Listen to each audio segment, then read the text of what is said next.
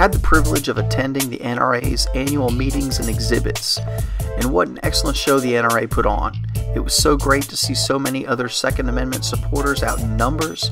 I just hope the same numbers show up at the polls in the next presidential election. I only got to go for one day, but I was so impressed that in the future I will make sure that I attend the entire weekend. I wish that I had more time to attend some of the speaking events, but what I did get to do was tour the exhibits and I wanted to share some of these amazing new firearms with you. First off, I think we need to talk about the SIG exhibit. As I'm sure you all know, SIG has the new MCX and MPX coming out this year, and I know that some have already shipped. These guns could be a huge home run for SIG. They're modular, adaptable, and seem really high quality. I hope to be bringing you a full review of each as soon as I can get my hands on them. Basically, I can tell you though that if they're reliable and accurate, I'm in love with these two. Also of note from SIG, as I am a huge 10mm fan, they're bringing out a P220 in 10mm, another SIG on my must-have list really huge year for SIG, at least in my eyes.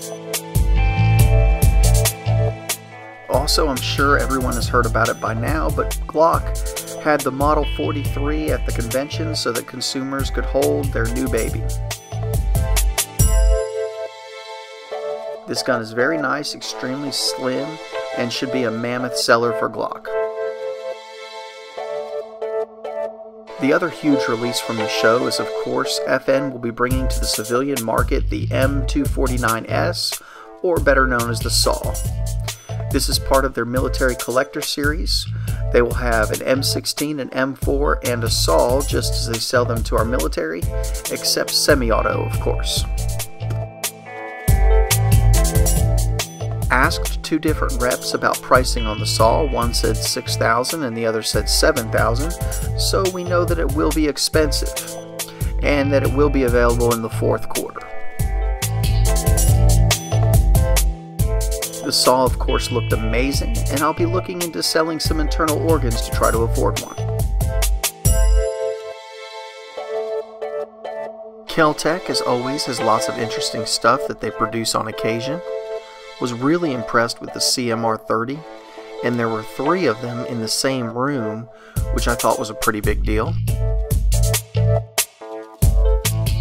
Of course, it only took me three years to finally get a PMR 30, so I'm not holding my breath on this one.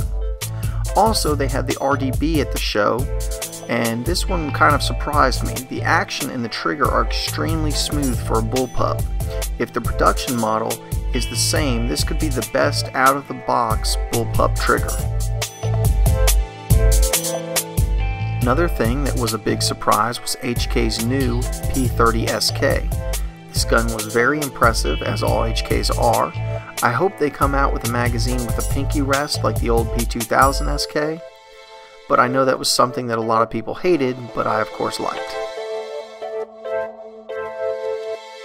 The P30SK is a really nice compact size, fits well in the hand, and seems really high quality.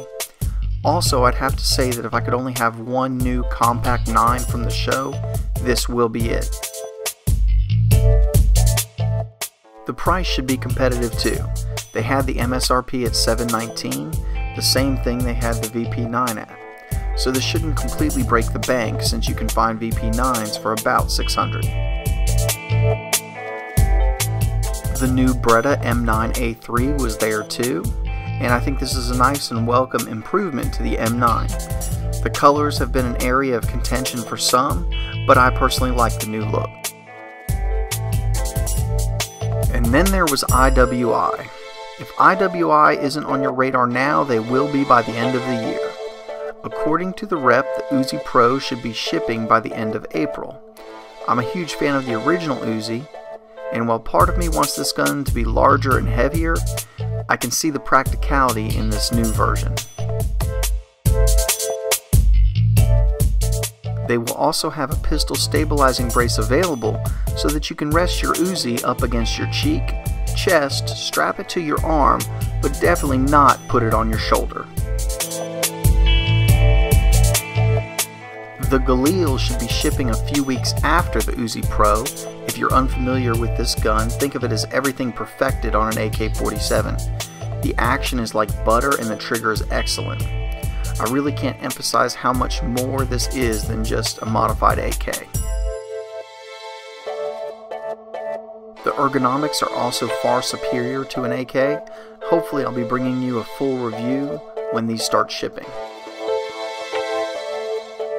Then, kind of hiding amongst the Tavors was an X93, which is somehow an improved product Tavor. Now, I must have just been completely blown away by the news because I forgot to take a pic of the X93. The rep said that they should be available in the fourth quarter.